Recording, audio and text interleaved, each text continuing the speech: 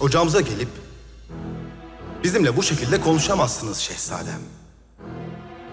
Konuşursanız elbet hesabını verirsiniz.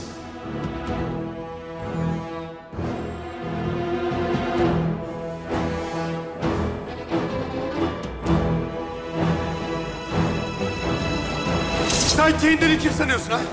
Karşında şehzade var senin!